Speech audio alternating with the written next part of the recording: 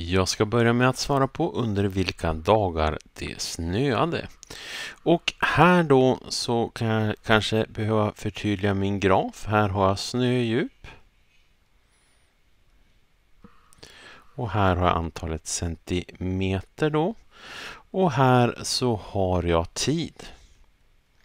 Alltså jag har veckodag där. Så när det snöar så ökar ju snödjupet och snödjupet ökar ju i det här området. Sådär.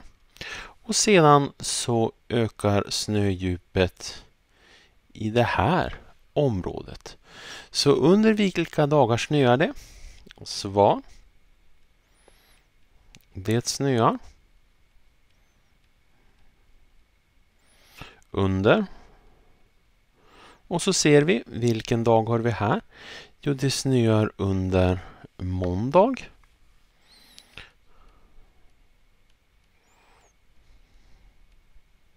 Och det snöar här under torsdag och under fredag. Måndag, eh, torsdag